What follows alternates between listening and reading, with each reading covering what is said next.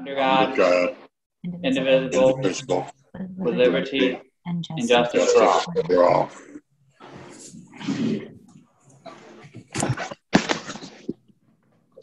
Okay, Okay. Kristen, it looks like we have Chuck, Ed, John, Harry Van Meter, Julie, Frank, and Tom Collard. Yes. All right, minutes. Oh, Minutes we've got, sorry, we've got addition or deletions of agenda items as well. Oh, okay, yeah, I dumped all the way to, even with it in front of me, I'm not paying attention. Um, this is Kristen, and one addition is there was an email sent to you all that item from Cindy Legg um, regarding she was inquiring about her sewer situation following the demolition of her building. Julie had mentioned that she might be interested in calling in tonight via an email, um, but regardless, she would like to have some updates on that. Um, and I have another addition is an update on Elizabeth Gibson's position. I contacted the VLCT lawyers regarding what is required for advertising that and how the best way to go about that is. Um, also, a message from Ed that came through, which I forwarded to the board, uh, the quote from Countryside. And this is within Julie's realm. It wasn't officially on the agenda, which it should have been, but tax rate discussion within the treasurer's memo section. And I otherwise have no deletions. Sounds good. Is that So- Bob Jones that just called in? Yes, it is. Hi, Bob. Okay. Hello, everybody. Well, Hi, Bob. Okay, so now we're on the Minutes. approval of the minutes. I think the date's wrong. Yes. Very astute observation. I know how that can easily happen. yeah. So I did fix that. It is the final minutes that we are approving would be for June 30th, 2020. Okay, Right, John? I didn't, Yes. Okay. I didn't see anything else. Did anybody else see anything with the minutes? No, I believe they're correct. Okay, that sounds like a motion to me, Could be. right, Chuck? Okay, do we hear a second on that motion? I'll second that. Okay. Is there any more discussion on the minutes? All in favor? Chuck? Yes. Ed? John? Yes. Bob? Yes. Okay, approved. Any pre-requested?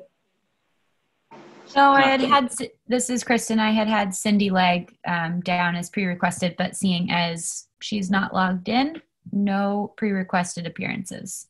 Okay.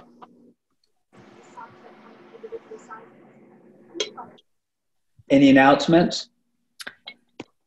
One announcement, this is Kristen again. Um, just one announcement came from the town clerk's office that I thought would be interesting to share in our town, in our meeting minutes, that there was a bill passed effective July 1st, 2020, stating that riding of ATVs on all public roadways is now illegal except if the ATVs are owned by the town. Further, helmets and valid trail access decals also known as TAD, are required beyond one's own land, and the farming exemption also no longer exists on public highways. Okay. And they do So need the- an insur, you need an insurance card.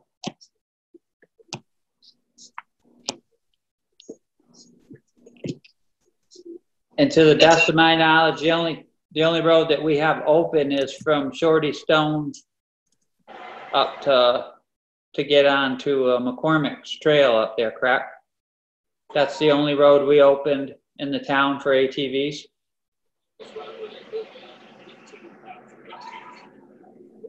Bob, do you remember that? Well, how are you describing it, Mike? The only road that we have open for ATVs that they're allowed to drive on are from, from, uh, Shorty Stones up to, up to, uh, uh, Yeah. Brook Road and then on to the McCormick access there. I believe so. I believe so, but we'd, we'd have to look, look it up to be sure. Right. So in order for, to, to drive on any roads, they would have to, we would have to allow that with a, with a motion, that we'd have to deem the roads that they were allowed to drive on, correct? That's the way I read it. Yes, I believe you're correct. Yeah. So there's no Uh, trespassing, this is even Frank. farm Can I say vehicles. something? What's that, Frank? Um, Is this, this is a, Julie, I mean, um, Kristen, is this a state law that went through on the ATVs? Yes, Then you'd have to con- contact the state to see if your exemptions are valid at any, anymore on the public, for public highways. it, That it was spelled out in the law, unless you've already deemed the roads. You have to, you have to deem them, so. Unless we have Okay. any pushback from the ATV people, then that's, then it is what it is, so. Okay. What else do we got, do, uh, Kristen? That's all I have for announcements, Mike. Okay. And zoning administrators report, do you have anything from Jonas? Yes. Um, also, just real quick, um, Deb joined the meeting. Deb Hawkins is also present. Okay. Um, yes, so I do have something from Jonas. Um, right. Okay, so uh, from Jonas Rosenthal, zoning administrator, this is Kristen sharing on his behalf. He says he has two other meetings tonight in Castleton. He will not be able to attend. Please read Steve Schaub's email regarding the signs billboard art. No new permits except for another swimming pool last week. We'll be in the office on Wednesday morning. Thank you, Jonas. Um, and does the board have interest in me reading the message from Steve Schaub? Yes, please do. So the message reads Hi, Jonas. I just wanted to let you know that I'm working on a letter that covers many of the points we touched on in our conversation the other day regarding the artworks in the field across from our house. Please feel free to share our conversation with the board, but I will definitely have a more thorough follow up in writing describing that these works are artworks for temporary display rather than signs. Cheers, Stephen Schaub. Okay, thank you. And Any other questions on the zoning administrator's report? Uh, Kristen, I had also sent you the, um, the site, uh, the s- sketch plan sample. when did you send that, Harry? I sent that this morning. It was the last thing that we had um, on the, actually, actually, the uh, application, the zoning permit application was approved by the select board at your last meeting, but with the condition that there's a a sketch plan example Yep. shown, think- and on that one page that calls for a sketch plan example, we've included it. So I sent that to you by email this morning. If you wouldn't mind, Harry, sending that again. All I got from Okay. you this morning was the ad for the open position. So Okay, if you wouldn't mind sending that along, I'd be happy Okay. to forward it to the rest of the board. okay. Thank you.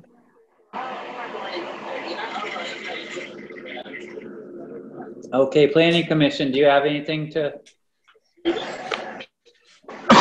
Uh, No, I don't really have a uh, report uh, this week, other than um, I did send Kristen the, uh, uh, the advertisement that is now on our website for the open position to fill um, uh, the vacancy left by Eric Mack. That's all I had.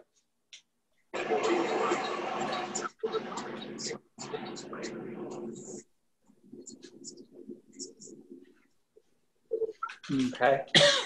So Keith isn't called in yet, so we'll move right along to uh, assessor's report.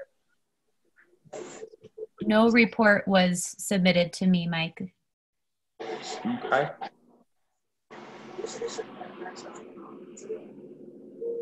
Is, Um, um, is Keith logged? Mike, I'm here. Oh, you're here already. All right. Well, let's go right ahead then, Keith. Ah, yeah, I didn't send anything to Kristen today because it just completely slipped my mind till I was done work. So, um, we've been right on the switch road pretty steady for two weeks and we're very near completion about putting the rock down anyway. So, um, that's going very well because we've been able to gravel right tight behind the bulldozer and it's just, you know, a much more, much more forgiving to the people that are trying to drive on it if we've got some gravel on it. So, um, we're just above the culvert above Ken Norman's and headed for the New York line. My hope is, I hope we'd be done today, but it looks like tomorrow will be the day we finish putting the rock down. So, uh, once we're done there, we'll be moving on to, well, we may go help Rupert for a while and then have them come back with us. I think, uh, Riley Williams is gonna do a shot and he will load us right in his pit, right in Spruce Gum there. So, and he's gonna do that at some point next week, so we may wait for that rock to, uh, so we'll just save some rental money, that's all. If we'll load it and we'll take it away right there. So that's where we'll get the material for Betts Bridge, but we still got some culverts to change and some preparation work up there before we're really ready to roll anyway. So that's what we've been working on and where we're headed. Uh, I've heard nothing on our backhoe, uh, so I don't know what the status of that is at this point. So, Okay. Now, you said you're putting gravel on this, this slate you're putting on the switch road. Where are you getting that from? we got some gravel. We're getting it from Peckham's Pit in Salem, where Rupert's been getting it, just because that was the only place we really had volume enough to bother going after. My plan is to still cap it with, uh, with the Galusha stone, but that, that road is closed and, you know, there's no real access there at this point, so we'll Yeah. buy enough to put our first shim on and get the rock covered, and then we'll cap it with a gradable surface of the, the crusher run from out there, so. Okay. So how far toward Bush Quarry did you go? Uh, how far, we started at just west of the box culvert by the Briar Hill Okay, intersection. All right, that, that road that goes south right there was always considered Bush Quarry. That's what Yeah, I we- always knew it as, so. Okay, I'm not sure where Bush Quarry was, but yeah, we're, we're, oh, halfway between that and the box culvert. Right where after you cross the culvert and start to grade up the hill, I blended right in there and started, because we rocked Okay. around the box culvert when we installed that anyway, so that's already pretty good shape. And, uh, we've gone, well, I skipped across where you and I met the other day, cause that's all rock Uh-huh. anyway. It- So we, Right. we picked up there and started again back by the small cul- culvert that they wanted to turn the water to. And Yeah, we went fairly reasonably thin down through there. It was really not a major mud issue at that point. It just gives us some more ditch line and gets us away from the bedrock with the grader. And, you know, Uh-huh. now is the time to do it. So we went down there and then once we get down towards, uh, where Kibling's driveway is, where it gets muddy down over to the New York line, we thickened back up and, you know, the, the quarry guys had some issues. We were down to one truck for a day and a half and, uh, a few things. So we're, we're rolling along there and it's going well and we're getting it covered. So like I say, the rock will be done tomorrow. We probably will get some more gravel on it the rest of the week and it'll be, we'll be in good shape there. Have our driveways all done and so on and so forth. We've got, I don't know, one issue there. Ken Norman's gonna need a culvert, I guess, just because he's got substantial ditch there to access his horse pasture. We'll work something out there and, and take care of that and, uh, the rest of them are coming out pretty good, so. Okay, so we didn't have to move any of that material with our dump trucks? No, it was all brought thirty-five or forty ton at a time. Right to the, Can't beat it, right huh? to the road.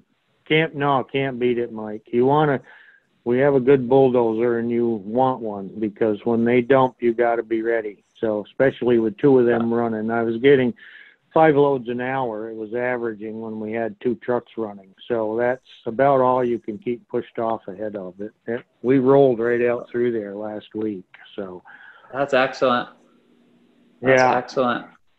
it really gets it down and you know that now we're down to one truck but we're also working right off the end of the quarry road so even one truck's coming coming pretty heavy so Pretty steady. Perfect. yeah yeah Well, we're making great. good Thank- progress that's the main thing I really appreciate those guys helping us out. I mean, it's a benefit to all, but it's, it's great to save us on that too. oh absolutely you can't cannot beat it you know we're not renting an excavator to load it we're not transporting it in our trucks and you know they're easily two and a half times our truck every time they dump probably so it's Good. uh so I wish they'd go all over town, but they're a little cautious about that. So Mhm. they'd love to get rid of the rock, but they don't. They don't want to drive on the 153. So Yeah. Go ahead, Chuck. Uh, I stopped and, uh, spent a little time there this morning, uh, talked with, uh, Keith. And, uh, I'm pretty impressed with the, uh, material that's, uh, going down. There's no major slate chunks in this. This is all nice material. well, that, once in a while a plan comes together, and it did this time. We were looking for it. He was looking to get rid of it. He hit it hard for us when he blasted. So it, it is. It's all nice fractured rock. You can make a consistent lift and and go with it because you're not forced to go deeper than you really want to and haul more material because the size of the rock is controlling what you can put down for a you know for a lift. So with this stuff you can uh, you can work pretty good. I don't think i've sorted half a dozen chunks that i thought were too big out of everything we've done in that whole stretch of road which is well it's like 1.2 from briar hill to the new york line miles and you know we've done 90% of it. So we- could say it's going to be another mile of road that's completely upgraded so Excellent. Anybody else got any questions or comments for Keith? Kristen? I I just have one quick question, Keith. Did you ever hear anything from the state about the roadside mowing on Route 30? Yeah, I did. Interestingly enough, uh, I contacted them down there, and they don't know who's going to mow it because they haven't hired anybody yet. So don't get your hopes Oh, up that great. it's going to happen anytime soon. So, Okay. and that doesn't mean somebody won't show up there next week either. But it's uh, they, uh, you know, they currently didn't have anybody hired, and Dave Hosley has done it in the past and was not interested this year.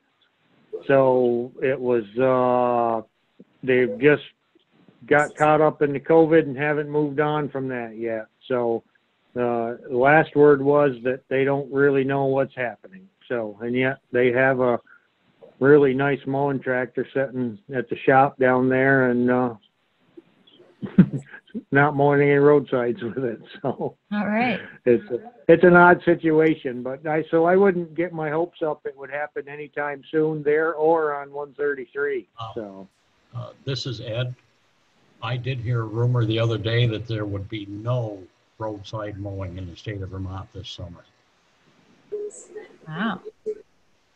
They wouldn't come right out and tell me that, Ed, but it sounded like that's where they might be headed, so.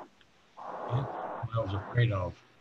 Well, I heard the other day, this is Chuck again. I heard the other day that they're mowing Route 7 uh, by the Welcome Center and all those junctions. Well, this is Kristen. Thank you, Keith, for checking into that.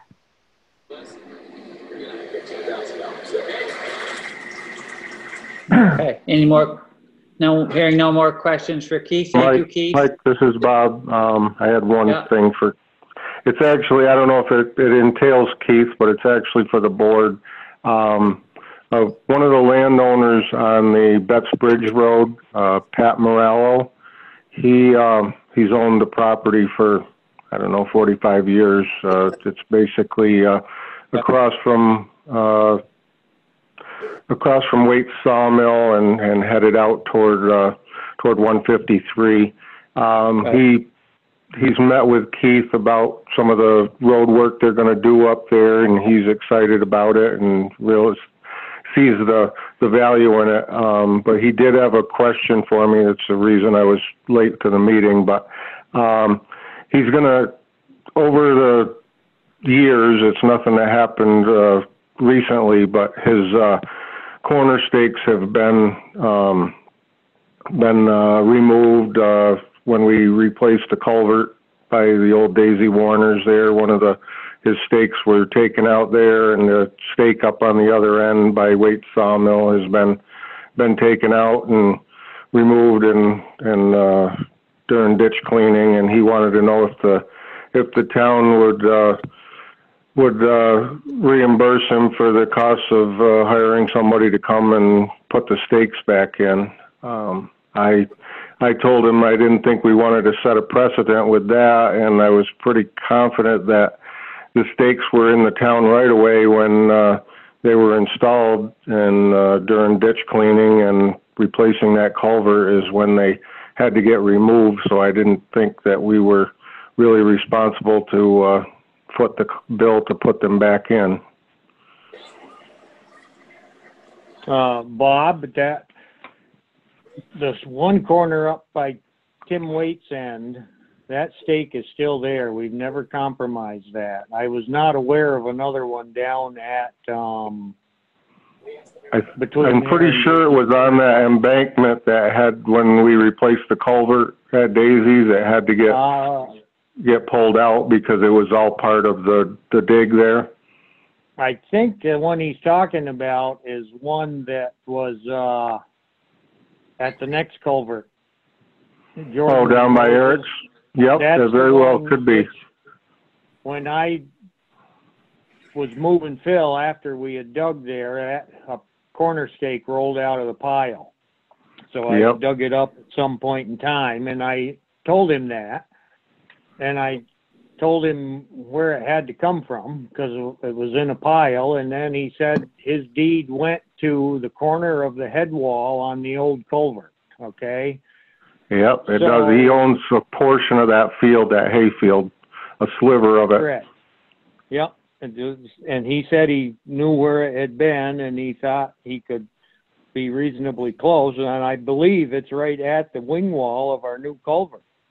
Right, we didn't move the uh, brook, that's for sure, so. We didn't move the brook and we centered the new culvert on the old culvert. Of course, the new one is considerably bigger, but, um, so we did disturb that one, but I don't think we've compromised any of his other stakes. Right, right. He said the one up by Waite Sawmill was in a, uh, a pile of, uh, of wood chips from chipping the, the roadside or something, so he was concerned that he didn't know if it was accurate or not.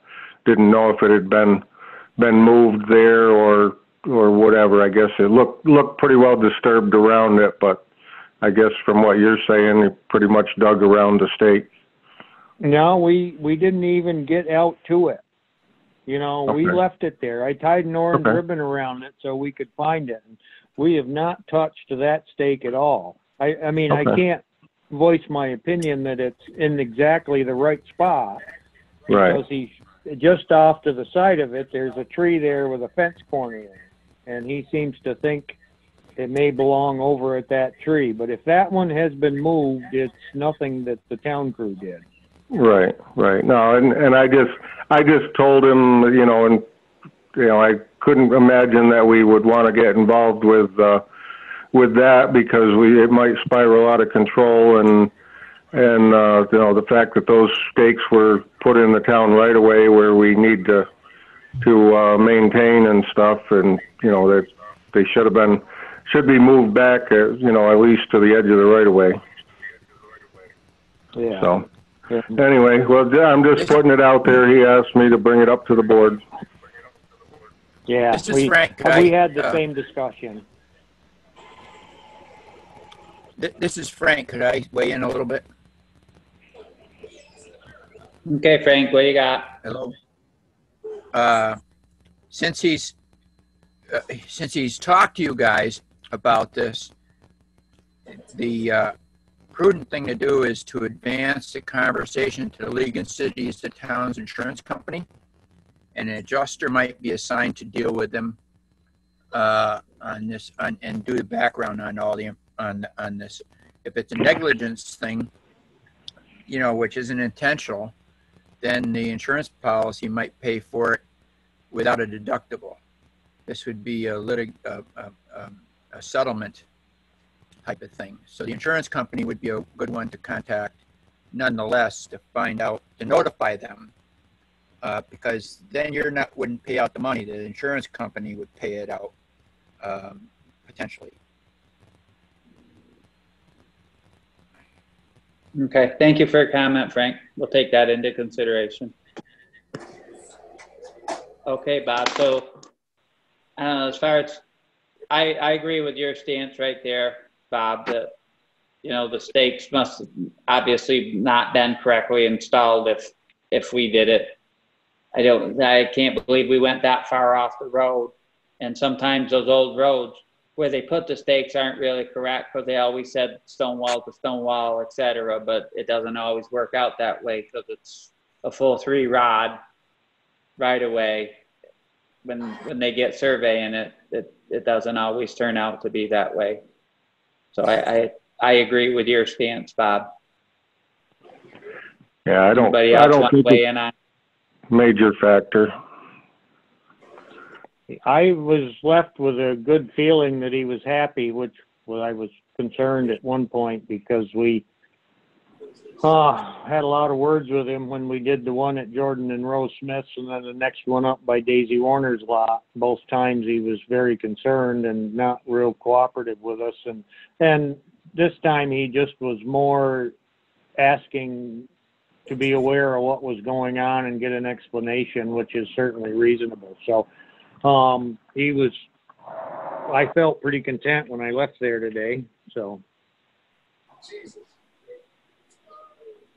Okay, This is, this is Bob. Uh, yeah, Keith, I spoke with him. He said he, he was very happy that you met with him and described what the plan was up there and, and he was, uh, you know, it seemed all positive and he was fine there. And then as the conversation went on, he just, uh, basically wanted to know if we would, uh, pay to have the, the stakes, you know, resurveyed and reset there. And I told him I did not feel that we wanted to set any kind of precedent like that. So, but I guess we'll move on from there.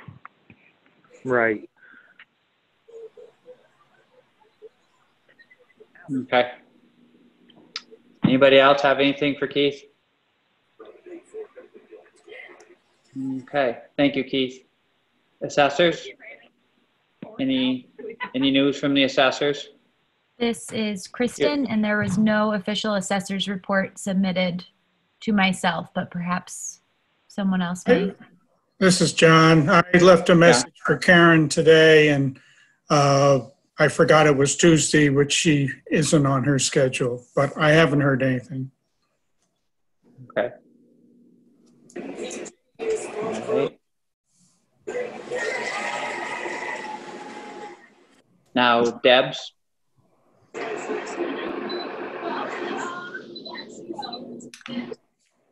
Deb, do you want to read your memo? or Do you want Kristen to read it?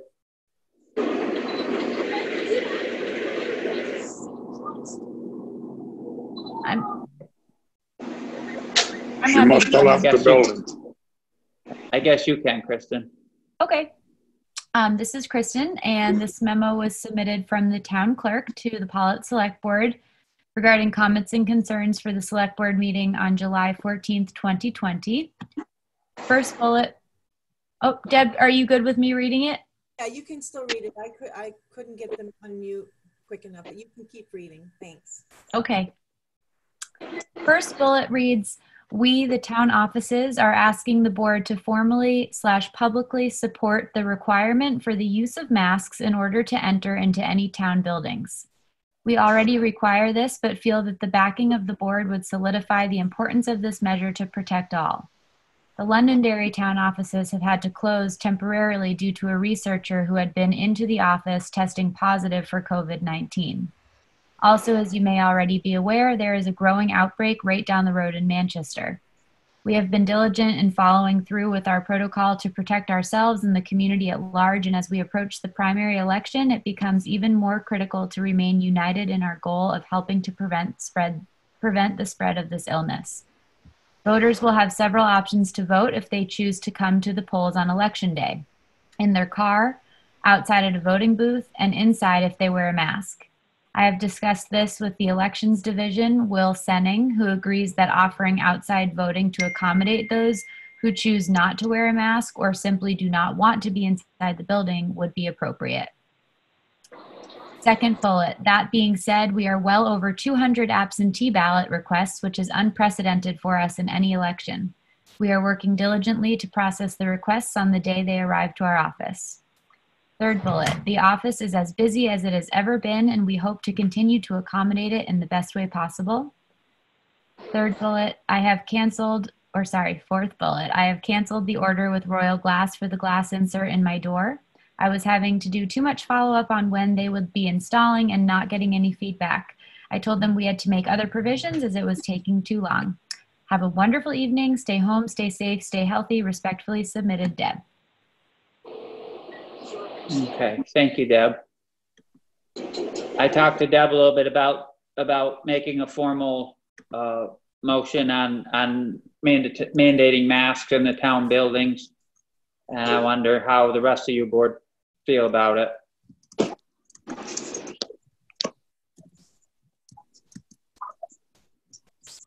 I guess we'll just go right down. Ed, how do you feel about it?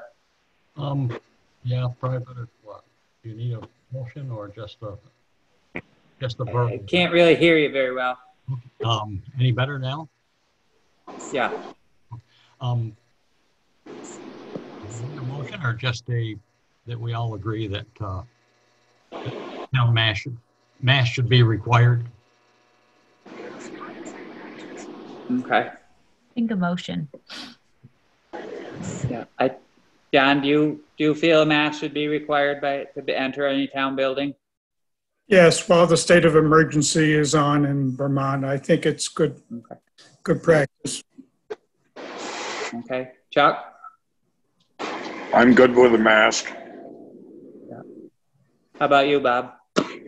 I definitely agree. Okay, so let's, let's put that in the, in this form of a motion, just so we have official vote on it, that, that this. Okay, So this is some, This is Kristen, if I may. I think that the motion would be of benefit to, to, nicely done. Um, would, it would be a benefit to con, or just to clarify that the mandate of wearing a mask slash facial covering that covers the nose and the mouth while in Mhm. town buildings. Um, because having, working in a public space in Manchester, there's definitely a lot of interpretation of mask wearing. So I think as being as clear as possible would be of benefit. That's just my my two cents. and, and like John said, during the state of emergency. Well, you know, I may take that back because this will only be for a month longer and it'll cover the primary, but won't cover the general election in November. Okay. The state of emergency will be off by then. So I, I guess I'll take that back and not include that in the motion. Right, and then, then we can rescind it when, when we feel the, the threat is gone. Okay. Yes. Do you want to make that motion then, or John, or since you're I'll make to the, mo- require the mask? Okay, require the masks defined such as Kristen said. excellent. Thank you. Who would like to second that motion? I'll second it. This is Chuck. Okay. Chuck will second it. All in favor of that motion? Ed? Aye, yes. John? Yes, Chuck? Yes. Bob? Yes. Okay, motion approved. Anybody else have any questions or comments about Deb's report?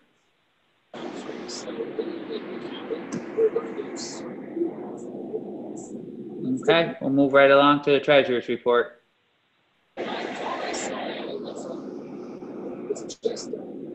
Hi. Good evening, Julie. Um, there's two warrants to be signed. The payroll was eighty-six, sixteen, eighty-four, and the accounts payable was thirty-nine, seventy-nine, oh nine. The total general fund was fifteen, four fifty-two, eighty-eight, highway, twenty-three, five fifty-four, sixty-nine, and wastewater, five eighty-eight, thirty-six. I guess, I guess I can pause there and we can deal with the warrants and then move through the rest. Okay. Everybody had a chance to look at the warrants? Does somebody want to make a motion on the warrants?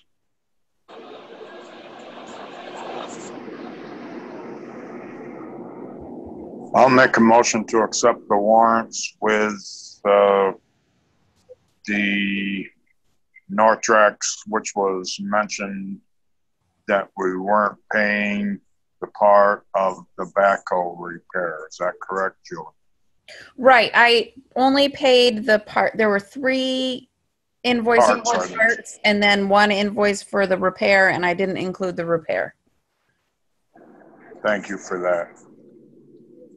I'll make a motion to accept the warrants with that condition of the Okay. Nortrax. All right. Ed, or somebody want to second it?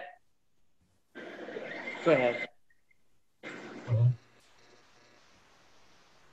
Yeah, that's good. I'll second. Ed, Ed nodded. So he'll, he'll make the second. Any more discussion? All in favor? Ed? Aye, yes. John? yes, Chuck?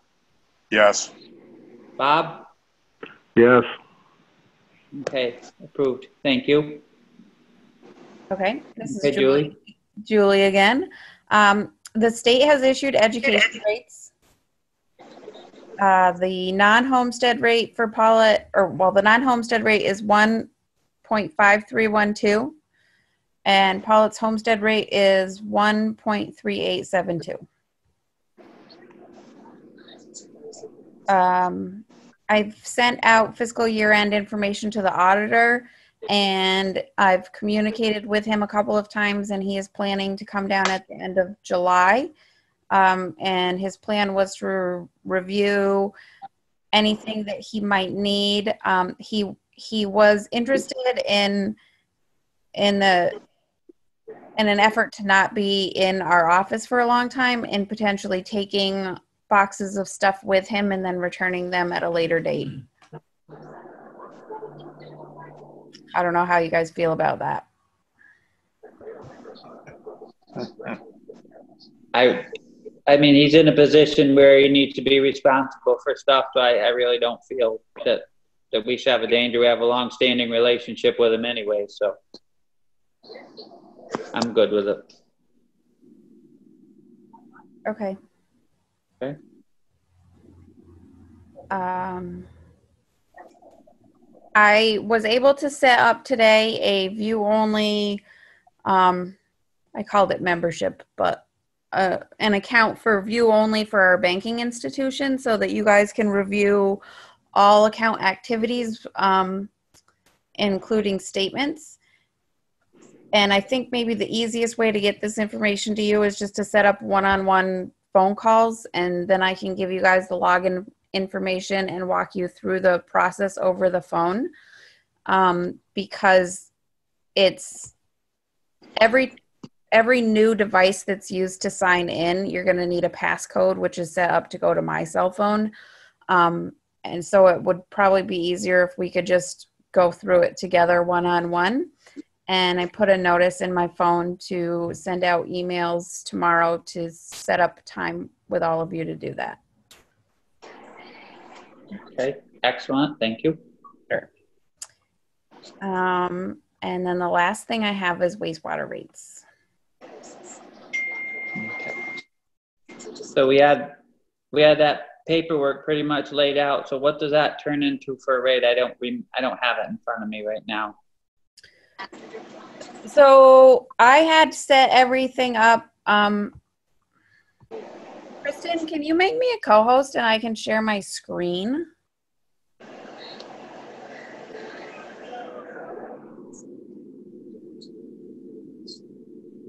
So I think I can do a share screen. Um, it's asking I can change the host, make you the host. Um, can you make me a co-host? No. No, okay. Um, well, sorry. Hang, It's okay. um,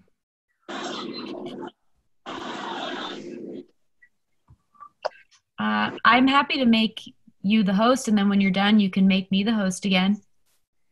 Okay. Why not? All right, you're the host now. Cool. so, I'm so excited. Um, let's see. Share screen. Can you guys see this now? No. No. Okay. How about how about now? Yeah. There we go, Julie sharing screen. Perfect. Um, so the way I had it set sent to you was with the um, wastewater budget um, with um, Jill had said that she needed a thousand dollars more moving forward, right, Mike? Right, So I had set that up with that additional funds included. And then the one loan payment that comes from wastewater. And then that leaves us here. And then I had filled in everything else. And then I had done the math to be that we would keep the 764. So that's where this number came from, the 17910 is what it would take to transfer into the wastewater fund to maintain the rate.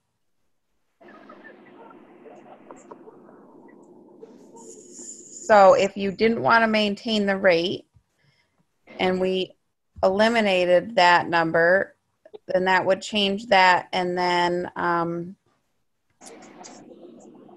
let me just get my calculator going here. So we would need to raise the 113 410 on 125 units it'd be $907 so where did we get the seventeen that we transferred from? That was me mathing maintaining the rate Okay, so we have, we, we're, we're seventeen hundred thousand dollars short to maintain that rate, right eighteen thousand dollars short. right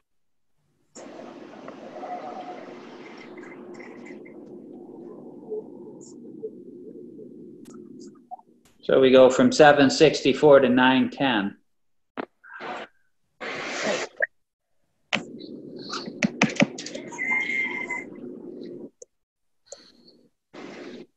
But there's, there's really no way we can get that money, is there? There, I mean, there's some money saved in the, the wastewater account, but the, the recommendation was that we didn't pull any money out of there to, to maintain the rate like we had in the past, correct?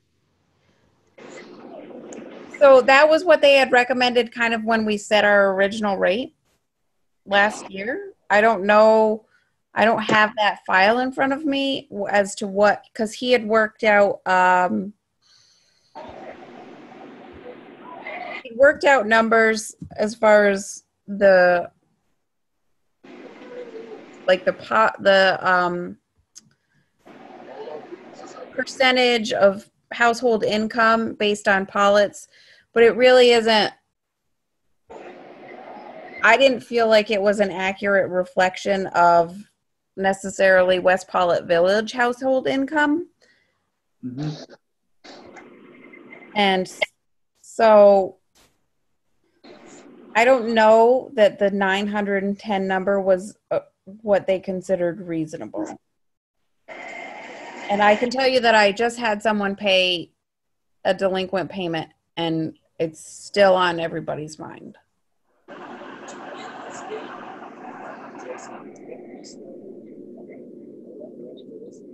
So I think it's important to consider that.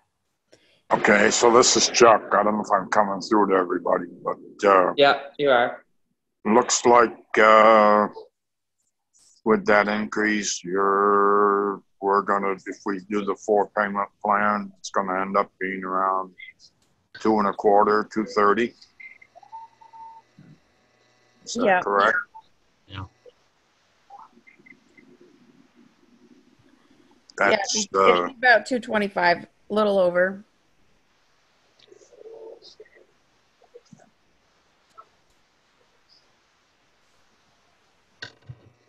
And I can play with these, I can play with these numbers too. Um, Um, this is Ed. I think this is just going to be the beginning of a lot of difficult choices. I just did some quick math one day and came up with basically with everything being shut down this year. um, Say the library, the fire departments, all that. You're looking, I believe, at a minimum of fifty thousand dollars that they're not going to be able to raise. So I think hang on to your hats, folks. You know, say just because they're gonna, they're basically gonna need some money. Um, I think asking these guys a thousand dollars a year is, that's pretty steep. Um, I think, I, I think there's gonna be some tough choices ahead. Just a comment. I agree. And Is it, is it one penny that raises about eighteen thousand? Is that the, yeah, it's in that ballpark. It's Yeah. near 20. Yeah.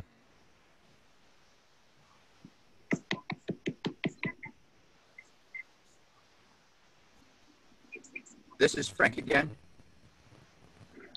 Uh, we, Go ahead. the uh, informational meeting, the informational meeting that Mike discussed might be a good thing to do. Uh, Nonetheless, and we're looking with that house that's being torn down, I- is that, was that two uh, additional uh, sewer fees that will be deleted from her bill? Because she might have had three units there? Yep. That's a question. hmm It actually ends up only being one because she built a new house out back, so we gained one and now we're losing two, so we really are only losing one.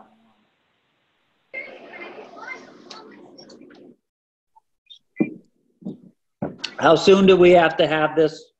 Do we need to settle on this tonight, Julie, or do we still have a little bit of time to get the? No, you don't need to, we don't need to settle on it. Um, it's, it's just, I, I was hoping to get built.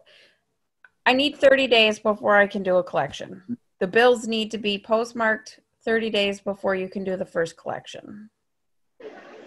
So I was trying to get all of the collection for this fiscal year done in this fiscal year. But we did it last time without spacing it out evenly, so it's probably fine to not space it out evenly. And if, while you're looking at my screen, we can play with this number from transfers a little and see what happens. So if you look at F nineteen, that's what the rate is for the year, and F twenty-one then would be the quarterly payment. So I can play with this number right now and you guys can see what it would do. Okay. What if, what if we went to somewhere like, if we could sneak up to like eight hundred or something? That's forty-six bucks. That's a sizable increase, but still not nine, ten either, you know? Yeah, let's see. Wonder what that would tell us that we'd have to find from transfers. Fifteen hundred.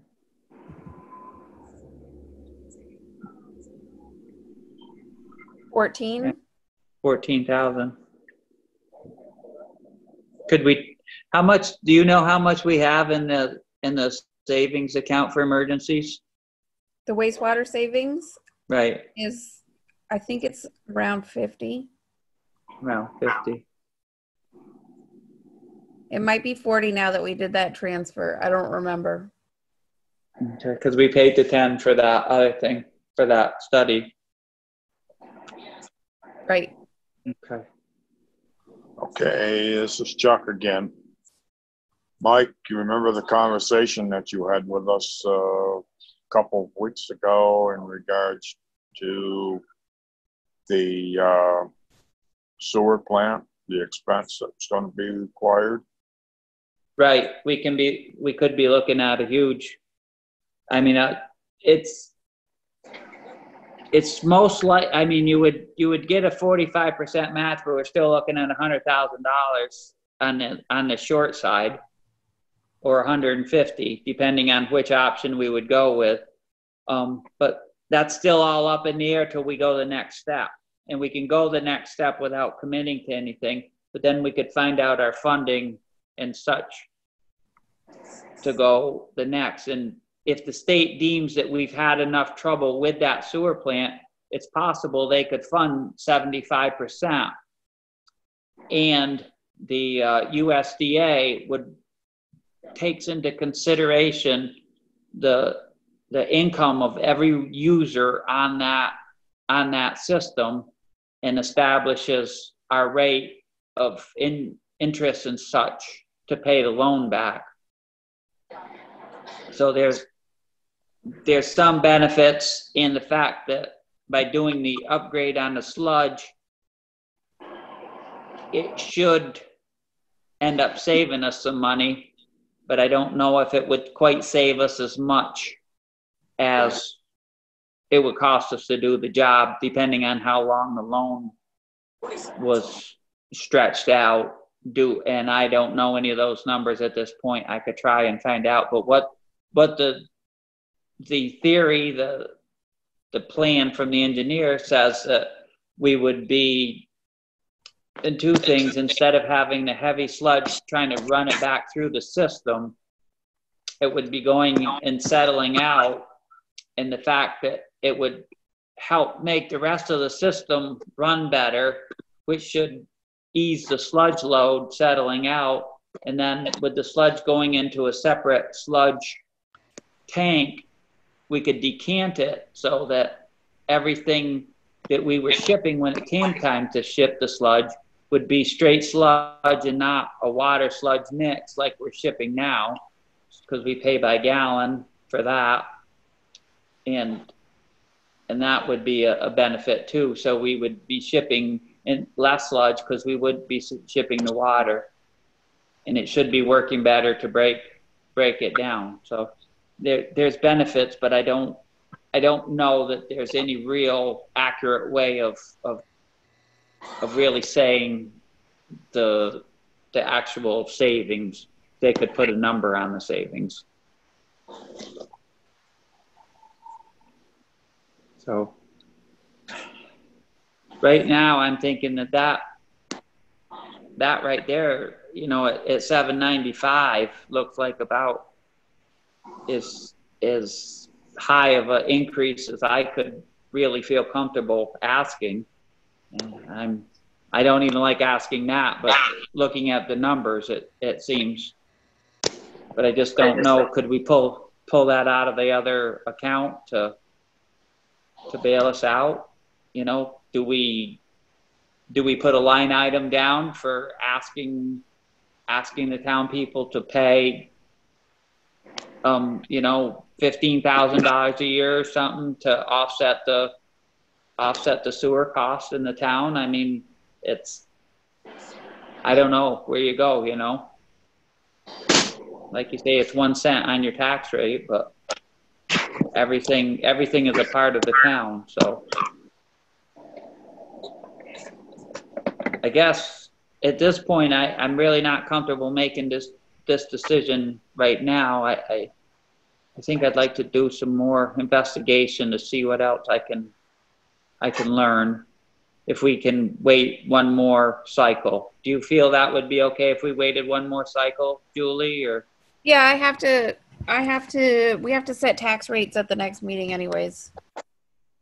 Okay, So we can try to do this then.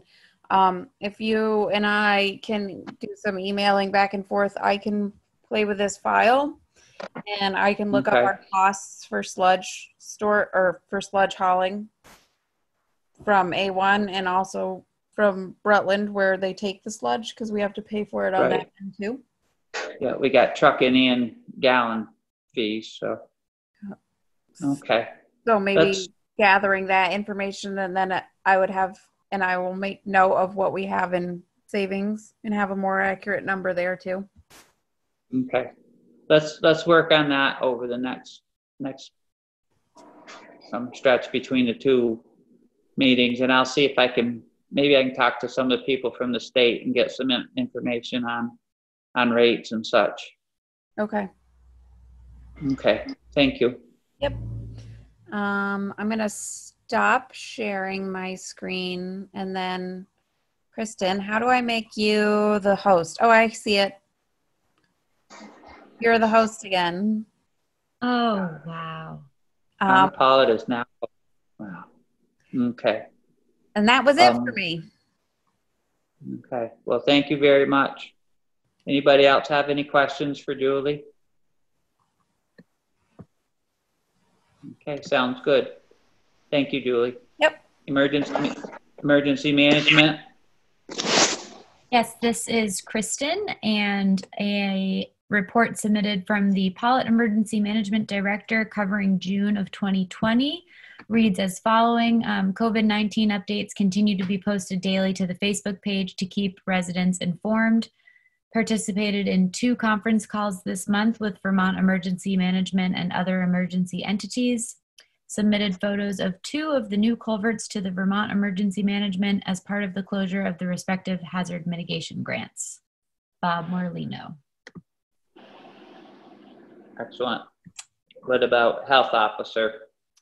So the Pawlet Health Officer's monthly report for June 2020 investigated complaint of septic waste smell in storm sewer, investigated complaint of trash on property, followed up on asbestos testing at house demolition site and served a notice of intent to issue a health order, performed a rental housing code inspection on a multifamily dwelling, obtained an office number and ticket book for levying fines. Bob Morlino. Okay. Anybody got any questions or comments? Back to the wastewater again. I, I got that little information that I shared with you on, on the, the steps involved in, in going forward. And, and I asked, and I asked her, uh, Jenny Austin again about, about how this would affect our performance and that little story that I just gave you was in essence what she told me. That, you know, the design, the design should improve the performance of the machines and, and, you know, event, save us money on the sludge hauling and stuff like that, so. That's kind of where we're at. I, I'd really like to go forward with this because I think the next, if we go with the next step, according to the way I understand it, and I can confirm it, we, we get the qualified, qualifications go out and, and then we can do a final design where we can look for the money. And then if we get, we can get the money to do everything we've done so far, including the ten thousand dollars. And if we choose not to do anything, we don't have to pay any of the money back. But if we do, if we do continue on with the job, we'll have to, we'll have to pay it back, but it would be rolled into the loan. So that's where we're at with that. And, uh, I'll just, I'll just keep talking and trying to figure out, but I, I think I need to review that again to see, see what, what we would do besides just ask, just having an official vote at the meeting to, to continue down.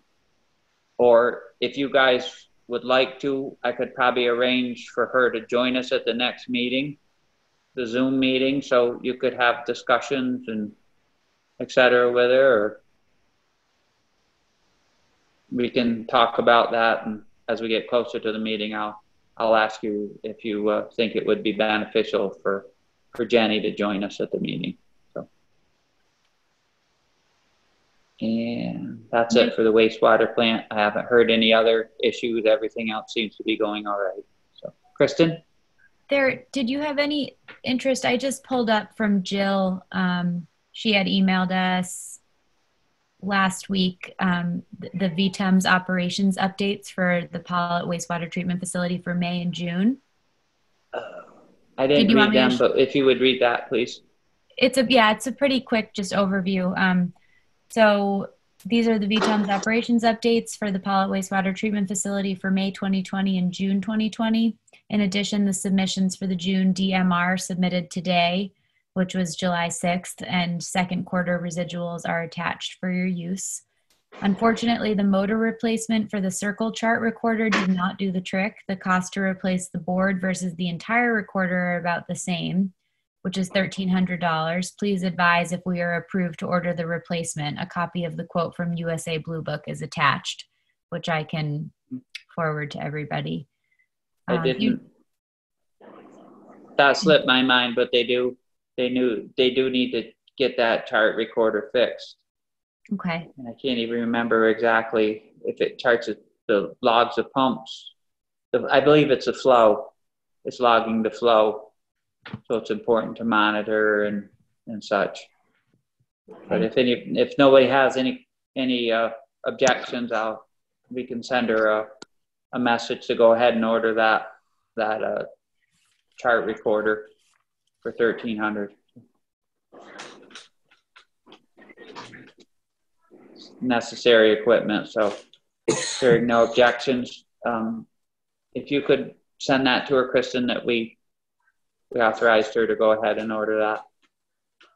do you want to make a motion? Does someone want to make a motion so we have it for the minutes? I guess it's over, it's over our limit, so that's right.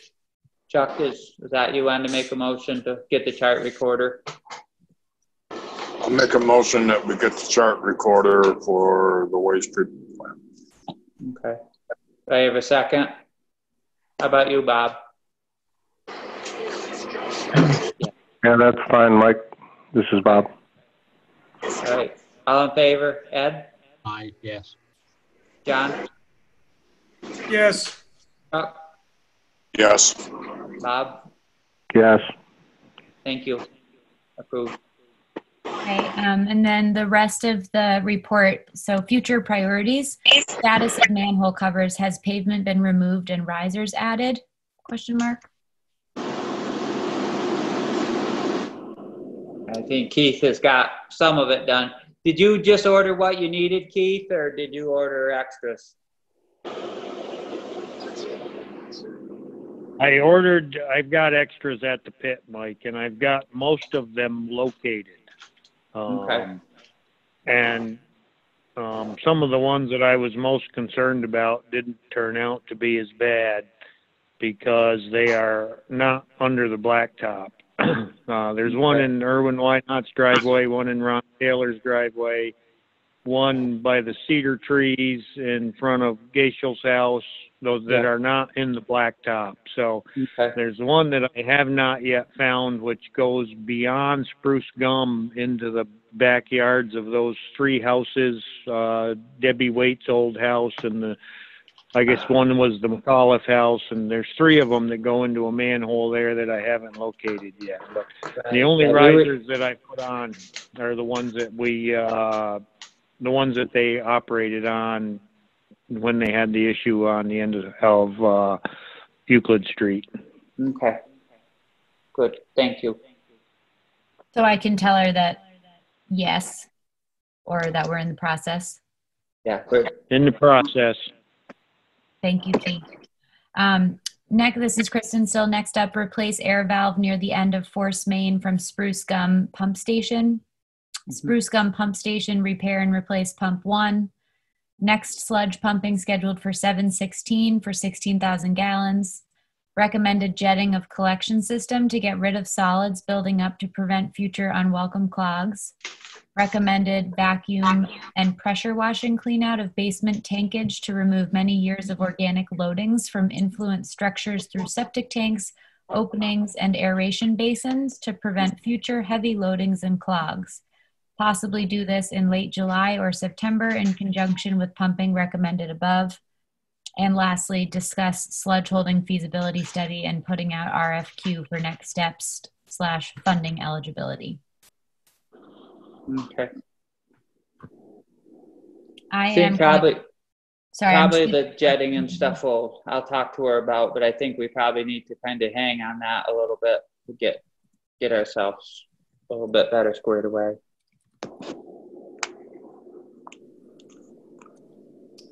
Um, and you all have that, we'll have that in your inboxes now, so you can review all of the attachments and whatnot. And while we're on the sewer thing, did, I sent you a, a copy of an email that I got from Jonas and her were talking about the Cindy Lake. I think that kind of explains. So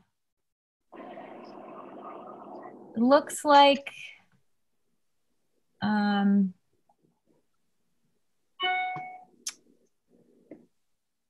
so it looks like they're still kind of working that out. Um, Jonas reached out to Jill, and Jill went on to say that she believes the proper protocol for an abandoned sewer service lateral would be to dig back and cap it. It may also be required for one of our operators to witness this disconnect to protect the system, assure it is sanitary, and allow the bill to discontinue. I will discuss this with Mike, the town of Pawlet Select Board Chair, to see what the town would like for us to do. Um, Yeah, I'll, I'll talk to her about that. I'll give her a call right off and then, how did Judy Leg, uh, Judy Leg reach out to us? Cindy Legg um, sent. I think Cindy she Leg, was yeah. Cindy. She, I believe, I got an email from Julie letting us know, letting me know that she would be interested in. She reached out to Julie, and then Julie let her know that we would be meeting and would discuss it. Okay, so then, Julie, do you know, how did she reach out, out to you? She, said that is correct. She called. Okay. So I'll, we'll have to get their phone call, phone number or something like that. That'll be, I can, I think I can figure that out. So, all right, I'll talk to Jill this week and, and get a plan so that she can, they can arrange to dig them out and then Jill can have her operator witness the actual capping so that, and I don't know if that lateral line is, is is one lateral line that goes into that house and splits once it gets in the house, or if it's two. But it was a duplex that she's taken down, so we'll have to figure that out too. So, okay, I'll work through that with Jill.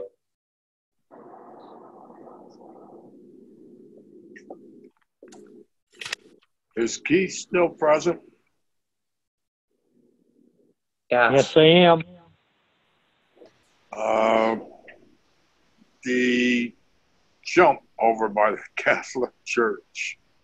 Uh, any idea when uh, is going to address that issue, Keith? No, I have not got a confirmed date yet, no Chuck. But we are on the docket to get it done and that's all I've known at this point, so. Um, and when I do find out, it probably may only be a couple days' notice, so. I can Yeah, check that's and fine. find out. So,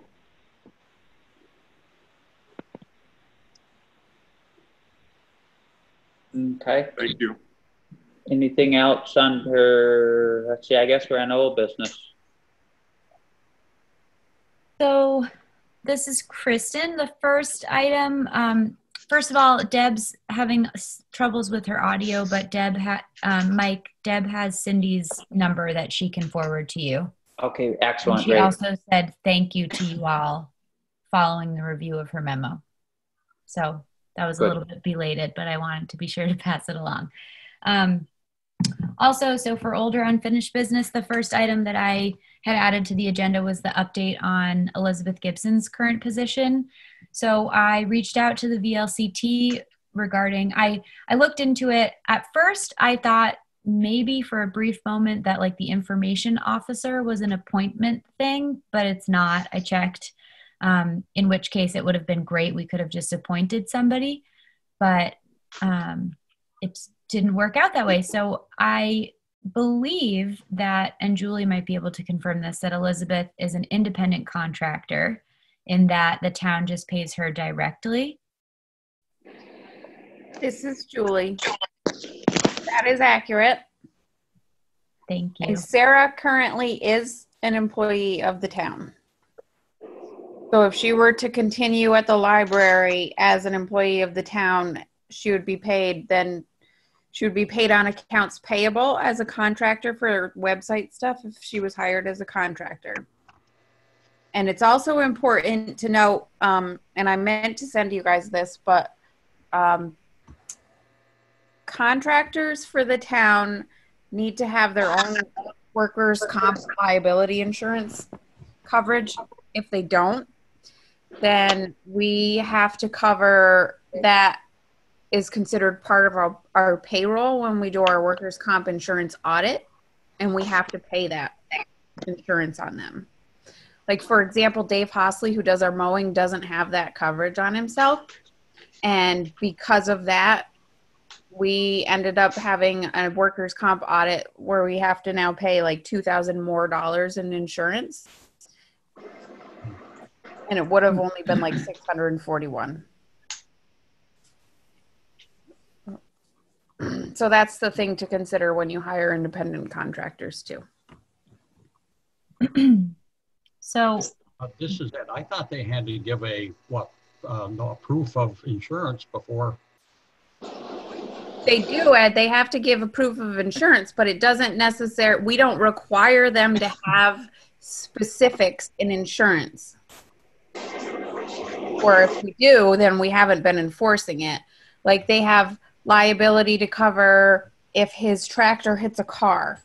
Okay, but it's not workers' compensation. So that if he then were injured and couldn't work, is he covered by some sort of insurance policy? And because he's not, even though he's not on our payroll, he is considered for workers' compensation insurance purposes on our payroll.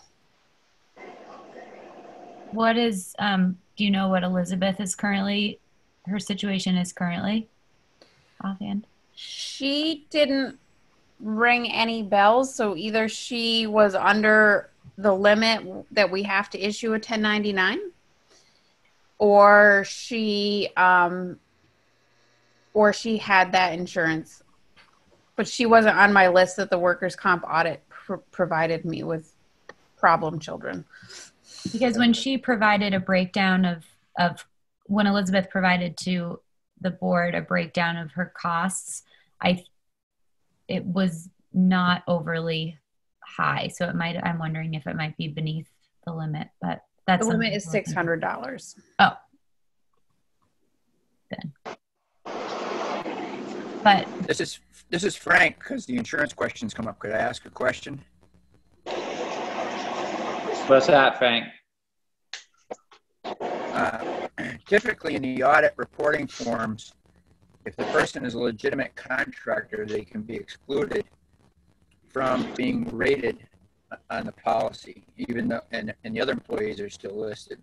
But this contractor would still have to be listed as to what the receipts were. And some evidence showing a contract was in place and that this person was a true contractor. Um, criteria around that. The legislature's tried to simplify it, but you really can't very well.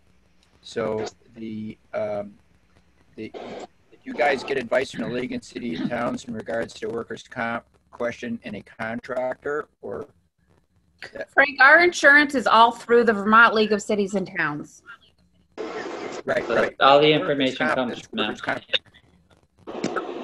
Work, workers' comp is governed by law.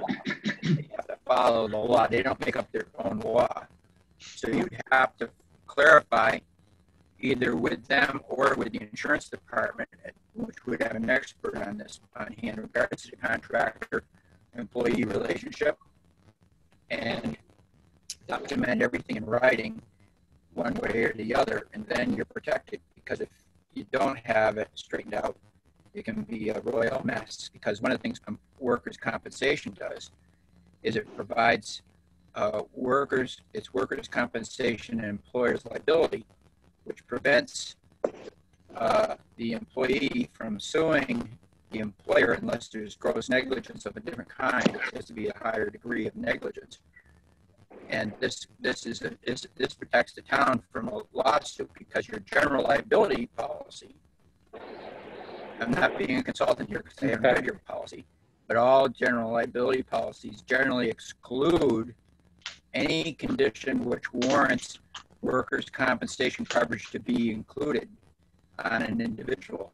So this would mean that, uh, that the town, if there is, if, if, and it's on a case-by-case basis, if you go into court, typically what you would, I'm not being given legal advice either, but the, uh, typically what would happen is the, uh, decision would be made then as to whether it was an employee. Okay, or the, the contractor. league directs us on all these li- in- insurance questions, Frank, so, so we'll, we'll be back in touch with them in regard to this uh, as we, as we determine how, League is how the sitting status down, has bring to the be question for up, and if this, you're not here- so.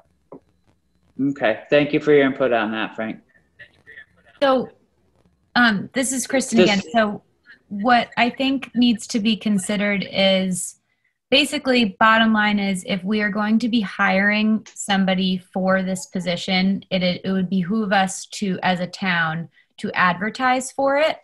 Um, while it's not required legally that one puts out an equal opportunity advertisement for an independent contractor, it just is the right move as a it just allows us to open the pool for any sort of you know people that are capable of the position and also down the road it would prevent anybody from saying that the town chose fav- you know the town the town showed favoritism and did not allow other people the opportunity to pursue the role so if the town decides to openly do that that would be something smart unless you want to reallocate the responsibilities to somebody else Mike, this is Harry. Can I make a comment? Sure. I tend to agree. I tend to agree with uh, Kristen that I think we should advertise for the position. Uh, I, I think where, we- what we need to do is have a, a website that works and somebody who understands the program in which the, or the platform in which the website was, was written um, to try, to maintain it properly. I don't think it's just something we should give somebody who maybe not have the experience. I think if we can advertise for somebody who works as an independent contractor or a consultant and um, has experience with um, um, was a WordPress that our website is done in, and so somebody's got the, got considerable experience in WordPress and has uh, a good portfolio of work that they've done. I think it's going to behoove us to work with somebody like that rather than just giving it to uh, to somebody locally. Okay, Can thank I you. make a Julie? comment, This is Julie? Um, please Another do. thing that would benefit us as far as advertising would be to reach out to the league insurance auditor and ask her what um what we should ask people to have for coverage Yeah. and then including that in our advertisement. Yeah, good point. Thank you. That's a good point. I would be happy to work with Elizabeth on uh, getting a uh, very short form RFP together if you'd like. Uh, that would be great with me. Is everybody else in favor of that? One thing we haven't determined uh, is pay rate and how it matches and fits in with our other employees and the structure. Well, Well, right was now, right now the budget has, uh, was it thirty-five hundred fifty dollars a year in the fiscal, uh, current fiscal year for the website and uh, newsletter? Okay, So we could actually, we could either leave that out of the RFP or indicate that that's the range we want to be in. Okay.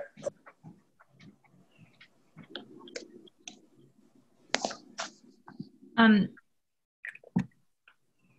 Go ahead, Kristen. This is Kristen. Harry, I have had some communications with Elizabeth regarding her some cost breakdown as well as what some of her responsibilities have been. So I can also send that to you as well to maybe avoid her having to double type. And Yeah. I'll also, I mean, I'm happy to work with you guys too on it. Um, That'd be great. the board kind of figures out Right. which direction you'd like to go with the position. Are we good with having Harry and Elizabeth and Kristen work up on RFP?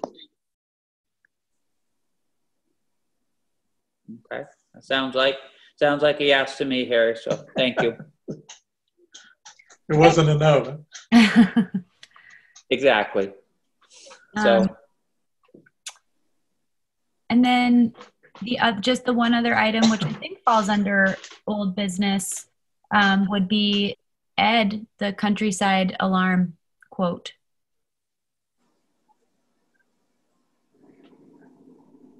I don't know if you want to yeah, take you want to tell us about that, Ed? Oh, um, well, how about you? Thank you. I don't, uh, Kristen, do you have? Do you want me to, do you want me to Yeah, no. Okay. Thanks. So, uh, Karen Gates from Countryside Alarms uh, and sent along a quote put together by Mike Blaze regarding the cameras for the town office and the garage. And if everything looks satisfactory, simply reply that we are good to move ahead and we will get the paperwork and scheduling underway. Any questions, feel free to reach out to the office. Um, and I just have to open the PDF. They probably want to know the figures. Yeah, I'm I'm working on opening that up. And as you inch closer to the edge of your seat, um, so so I have designed a system around HD cameras for an improved coverage design. During the past 36 months, Honeywell Performance NVRs have made improvements in product, and due to our distributorship, pricing has come down. Honeywell has made available a 2 TB hard drive NVR unit. In addition, the warranty on equipment is one year over the counter and three years repaired. Attached is a proposal based on a Honeywell Performance DVR system with internal hard drive. This NVR has four camera capacity with storage space being priced with 2 TB. Building will require an internet connection. The NVR will also have the ability to be accessed either by iPad, iPhone, or Droid smartphone. One Honeywell channel, four channel HEN flat screen service monitor includes internet connection software and remote viewing software for multiple machine operation, a power supply protector, HD4 MP4K colored dome camera installed wall mount outside above entry door and inside common office area. Wiring will require some surface wire mold. DVR will, will require internet service, and the equipment installed would cost 1959 No, one thousand nine hundred fifty-nine dollars. Sorry, not nineteen fifty-nine. So is there one at the town garage? That's, Also? another- that's, a- That's a second page. Also. There, I think that was thirteen hundred and something for a camera. Yes. Positive. The next, yes, the next one would be thirteen sixty-four, and any additional cameras would be five hundred and ninety-five. So you're looking at, Do we have anything in our budget, Julie, where that can come from? Honestly, I didn't look. Uh, we have the. We always have the building. Building maintenance. Yep. you're looking at like know. thirty-three hundred dollars. If you did both. If you did both, yeah. Ed, is there anything like a monthly fee that we would have to pay, or they just put those cameras in and, and then they're just there all the time and they run through and? You know, he didn't include that, and I'm sorry, I did not ask him that on a monthly fee. So that may be another, that's certainly another question, is delve into it a little deeper on additional cost. Yeah. It may just be that once they install the cameras, they just run through and you got so long before you, before it just records over. But it, it just seems like a very good idea for cameras to be in both places, in my opinion. This is So Julie. I guess if, we- Would be- Um, I think it would make people feel better to have cameras. absolutely. Most definitely. The only thing I would say about budgeting, um, luckily we have, our buildings are all painted. We Could skimp a little there if we had to, to, to find this money. There are some. Yeah, I, we could, we could do to get it, at least in the town hall. And he did say that he should be able to have that in by the primary if we went ahead on, on it.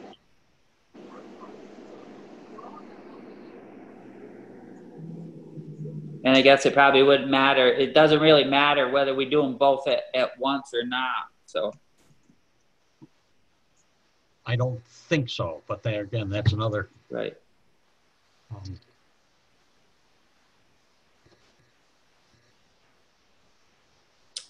So Are the biggest they, thing um, is, This is Chuck. I have another question, Ed, that you might want to ask. Are they motion de- uh, detected, uh, operated? how, okay, yeah, how do they operate? In other words, a town barn, uh, somebody, somebody pulls in and gets out of their vehicle and goes to the open door on the equipment, uh, side of the garage. Is, is, if you're walking by the camera, does motion activate it? That would be my question. I'm, a- I would suspect they do, Chuck. Um, we got some cameras like that at work in different areas and, and they, whenever there's any, they have a sensor range that turns them on and off whenever something occurs. Um, I know of one, I know of one house that, and I'm sure there's plenty more, that when you pull in, it comes on and they can even speak to you over the speaker, over the camera. You know, they So can, it seems like there's, there's a couple more questions that you could ask Ed, but we, we, and then that'll give Julie a little bit of time to see where we could get the funds and Okay. maybe next, next meeting we can vote on it. But it would seem like a, a prudent, a prudent idea to me, especially to have it in, installed before the, the elections. What does anybody else think? This is Julie. I just have, if we wait two weeks, are we going to get it in for the primaries? Because if we wait two weeks, then the primaries are at the beginning of August.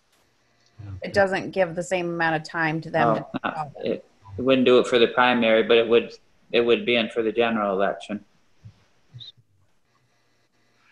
Okay, so the questions you've got are, can we do one at a time?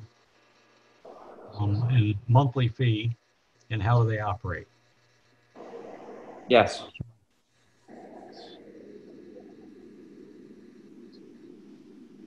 Last date he needs to know by to get it in, by, uh, last date to install before primary. And that's the 11th, isn't it? At the 11th of August? Yeah, That would be, that would be pretty tight, but But this stuff usually goes in pretty quick. It's pretty, pretty straight. Oh, yeah, they, it doesn't take them long to do it if they can fit it in their schedule. Exactly. That's the, that's the key. Okay, so hopefully we can have, have some good answers and, uh, and act on this next, next meeting and, and get it all in, in time. That would be great, in my opinion, so. Anything else under old business or, Uh, Mike, uh, this is Harry again. yes, Um, Harry? The, the, um, the, uh, Steve Schwab, um, artwork Yes, that's on display, I didn't hear a, any final decision from the select board on We how to, haven't cons- had how to consider what was, the only thing we got was, oh, Kristen? I was just going to add, this is Kristen. He, it looks like Jonas, he, Jonas sent something along and it was an email chain, but it looked like Steve was going to be typing something up to right, summarize their points that they, from a discussion that they had had regarding the fact that it's temporary artwork rather than signs. And I think that's all. I, I would just like, I would just like to uh, throw in a comment that, you know, there, you know, there are a number of people in town or come into town or buy into town and uh, erect structures that are clearly in our uh, bylaws that indicate a permit is needed. So uh, just to call what, what uh, he calls artwork, but looks like a sign, uh, just artwork and temporary, uh, doesn't exclude the fact that he's erected the artwork with uh, disregard to the zoning uh, requirements. So not that I object to what he's done. Uh, I think it's, I think it's a nice idea. But the fact is, uh, even if you're going to do it and it's a nice idea, you still have to comply with the zoning ordinances. Okay, thank you, Harry. But at this point, we haven't got any information regarding anything or decision to be made from the zoning administrator, so. Right, okay. Anything Uh, else we got cooking here? Yeah, the, o- the only thing, o- other thing I have, uh, if I could, uh, and I, I now uh, emailed you that sketch. That one page. Uh, Do you want to share your screen with, with everybody and s- just so they can see it? So I Zoom from a different computer than what I like do all my emails on so that I can make sure we don't have Yeah. any fatal errors and get cut out. Right, I, I do the same thing. Um, but what I can do is just I will forward the email along to everybody. Okay, Not that that's any good for instant gratification, but I will do that. all right, okay, thanks. Thank you, Mike. Okay, thank you. Um, Um, anything, nothing else under old businesses here, Kristen, or not that I had. no. anything under, anything under new? No, not for me. Okay, so now we got public comment, I guess?